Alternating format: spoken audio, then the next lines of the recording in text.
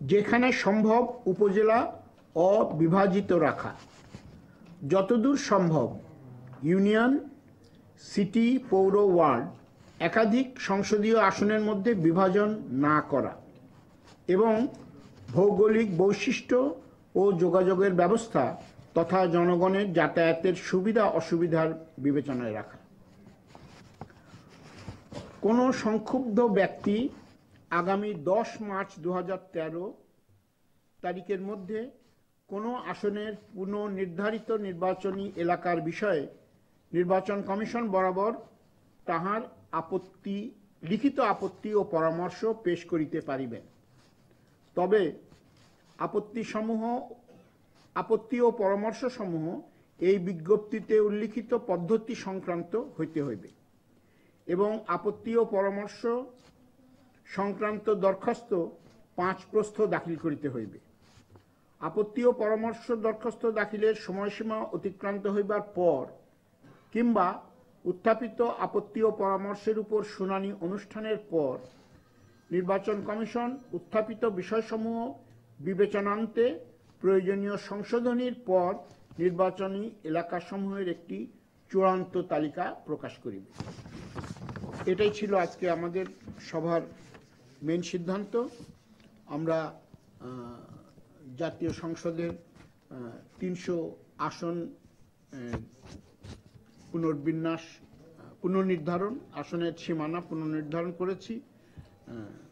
এগুলি কিছুটা চেক করে আমরা গেজেটে প্রকাশ করব। আপনাদেরকেও কপি দেওয়া হবে চেক হয়ে যাওয়ার পরে।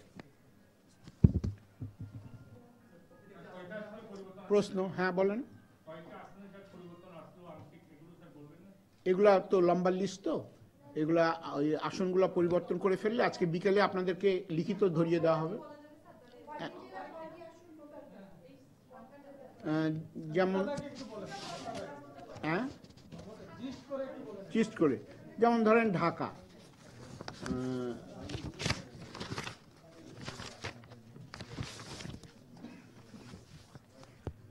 ঢাকার আসন সংখ্যা বিশটা রাখা আছে, চট্টগ্রামের আসন সংখ্যা ষোলোটা রাখা আছে। টোটাল একশো তিনশো আসন, এটা অপরিবর্তিত থাকতেই হবে, এটার তো কোনো উপায় নাই। আর ওই যেটা বললাম যে আমরা প্রশাসনিক সুবিধা, আঞ্চলিক অখণ্ডতা, এগুলোর উপরে গুরুত্ব বেশি দিয়েছি এবং একই সাথে জনসংখ্যার বিভাজনকেও আমরা যতদূর সম্ভব বিবেচনা রেখেছি।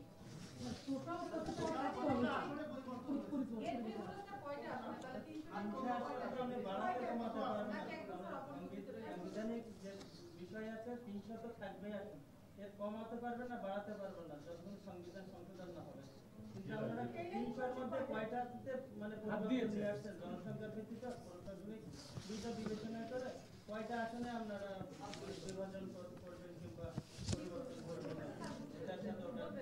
মানে দু হাজার আটের থেকে কয়টা আসনে পরিবর্তন হলো, এটাই জানতে চাচ্ছেন তো? এটা একটু চেক করে বলতে হবে। একটু পরে আপনারা জানতে পারবেন। ওটা কারেকশন করতে যেয়ে কারেকশনগুলো হলে পরে বোঝা যাবে। আমরা মিটিংয়ে কিছুটা কারেকশন করেছি, কাজে ওই হিসাবটা কারেকশনের পরে আমরা পাবো। হ্যাঁ বলেন।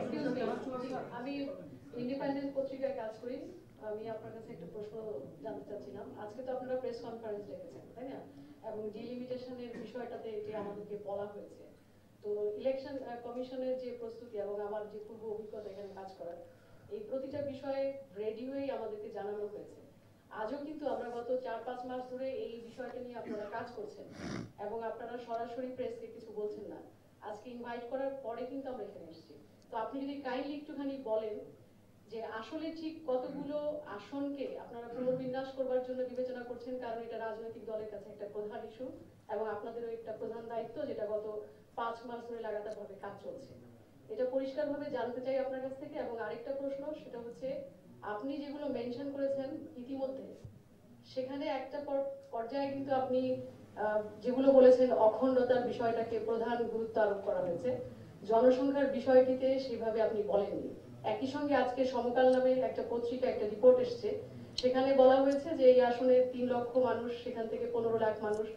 এই বিষয়গুলো যদি আপনারা পরিষ্কার না করেন, নির্বাচন কমিশনের ভূমিকাটা ঠিক বোঝা যাচ্ছে না। কাইন্ডলি একটু এটা একটু স্পেসিফাই করেন। পরিষ্কারই করা হয়েছে। আপনি যদি আইনটা দেখেন, আইনেও ওভাবেই বলা আছে যে প্রশাসনিক সুবিধা, আঞ্চলিক অখণ্ডতা এবং যতদূর সম্ভব জনসংখ্যার বিভাজনকে বিবেচনায় রাখতে হবে। আমরা সেভাবেই কাজ করেছি।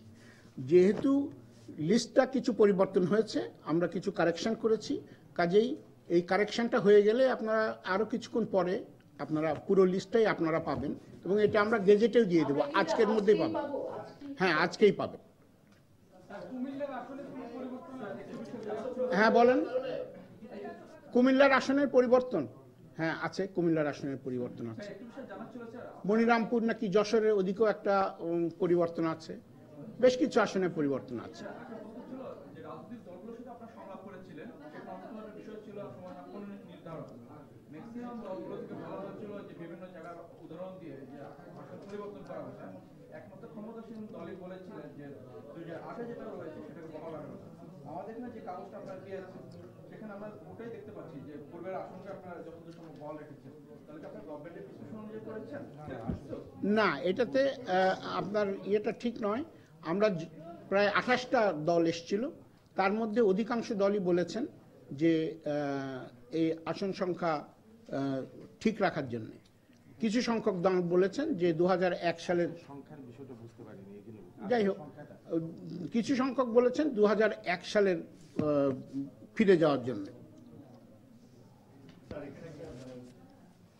আমরা ওনাদের বক্তব্য শুনেছি খালি রাজনৈতিক দল না, অন্যান্যরাও বক্তব্যে উপস্থিত ছিলেন, তাদের বক্তব্য শোনা হয়েছে। কিন্তু আইন এবং বিধি ইত্যাদি নজরে রেখেই আমরা ফাইনাল কাজ করেছি। এখন এটা হচ্ছে প্রাথমিক তালিকা, খসড়া। এটা আমরা গেজেটে প্রকাশ করব, এটার উপরে শুনানি হবে। আমরা বলেছি যে যার আপত্তি আছে তিনি আপত্তি দিবেন, যার এটা রিভাইজ করার জন্য পরামর্শ আছে তিনি পরামর্শ দিবেন, লিখিত আকারে দিতে হবে। এবং এটা বিবেচনা করে আমরা বিভিন্ন জায়গায় শুনানি করব। সেই শুনানিতে যারা এটার পক্ষে আছেন তারাও বলতে পারবেন, উপস্থিত থাকতে পারবেন। যারা এটার বিপক্ষে আছেন তারাও উপস্থিত থাকতে পারবেন। এই শুনানি শুনে আমরা পরবর্তীকালে আবারও এটা বিবেচনায় নিব যে আরও কোনো পরিবর্তন করার প্রয়োজন আছে কিনা। তখন যদি আরও পরিবর্তন প্রয়োজন থাকে, সেই পরিবর্তন করেই আমরা চূড়ান্ত তালিকা প্রকাশ করব স্যার আমরা একটু স্যার বিব্রত অবস্থায় পড়ে গেছি সেটা হচ্ছে স্যার আমাদেরকে বারোটায় ডাকা হয়েছিল সীমানা নির্ধারণের কষ্টটা প্রকাশ করা হবে আজকে। এবং এই ক্ষেত্রে আমরা আগেই যতবার পেয়েছি, সেটা হচ্ছে যে এতটা আসনে পরিবর্তন, এতটা আসনে আংশিক পরিবর্তন, এতটা আসনে ব্যাপক পরিবর্তন। সকাল থেকে গণমাধ্যমগুলোতে স্কল যাচ্ছে, আজকে সীমানা নির্ধারণের কষ্টটা প্রকাশ হবে বারোটায় সিসি ব্রিফিং করবেন এই বিষয়ে। এখন স্যার, সীমানা নির্ধারণ কোন ক্যাটাগরিতে হয়? নাইনটিন সেভেন্টি সিক্স যে অর্ডাতে সেটাতে ক্লিয়ার করে বলা আছে। এখন স্যার, সারা জাতি স্যার এটার দিকে থাকিয়ে আছে। এখন স্যার, আমরা কি বলব স্যার? আপনি স্যার ক্যাটাগরি গুলো বলেন, প্রশাসনিক সুবিধা, আঞ্চলিক অখণ্ডতা, এগুলো স্যার আইনে আছে। কিন্তু স্যার, এই সংবাদ সম্বন্ধে স্যার ভারতে হওয়ার কিছু দু ঘণ্টা দেরিতে হচ্ছে, স্যার। এরপর স্যার আমরা কিছু পাচ্ছি না কিন্তু না না, আপনারা একটু বোধহয় কমিউনিকেশন গ্যাপ হয়েছে। আমাদের মিটিং শুরু হয়েছিল এগারোটায়। এটার একটা কমিশন সভা। এখানে অনেক কিছু আলোচনা করতে হয়, আমাদের অনেক ভুলভ্রান্তি হতে পারে, সেগুলো আমরা দূরীকরণ করব। এবং এই জন্যেই সভা প্রায় দুটো পর্যন্ত চলেছে। এখন দুটার সময় আপনাদেরকে আমরা ডাকতে পেরেছি। সবার শেষ না হলে তো আর আমরা আপনাদেরকে ব্রিফ করতে পারি না বলা উচিত ছিল যে কমিশন সভা শুরু হচ্ছে এগারোটায় কমিশন সভা শেষে আমরা ব্রিফ করব।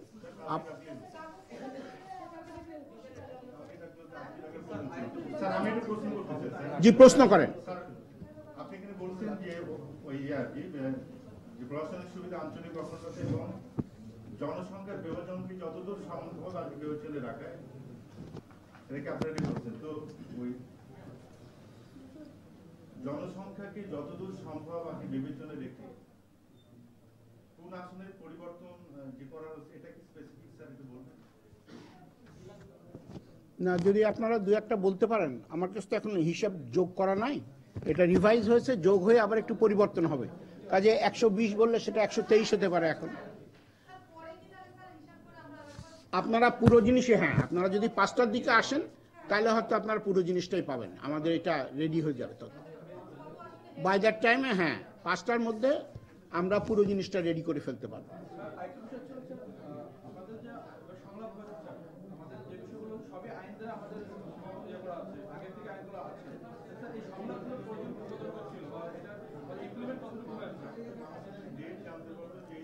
আজকে বিকালবেলা পাঁচটার মধ্যে আপনাদেরকে এর তালিকা দেওয়া সম্ভব হবে এবং সেখানে আমরা বলতে পারব যে কতগুলিতে পরিবর্তন হয়েছে, কতগুলি অপরিবর্তিত রয়েছে। এটা ডিটেলসই জানতে পারবেন আপনারা।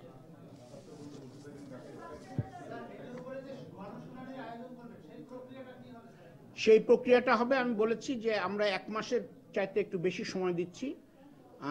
ধরেন গেজেটে যদি কালকে প্রকাশ করে ফেলতে পারি আমরা, তাহলে কাজ, কালকে গেজেটে হয়ে যাবে।